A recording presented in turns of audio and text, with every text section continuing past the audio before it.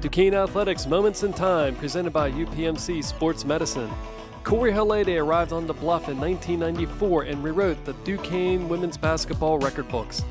The all time leading scorer with 2,631 points, Halede was the 1995 Atlantic 10 Rookie of the Year and 1996 and 1998 A10 Player of the Year.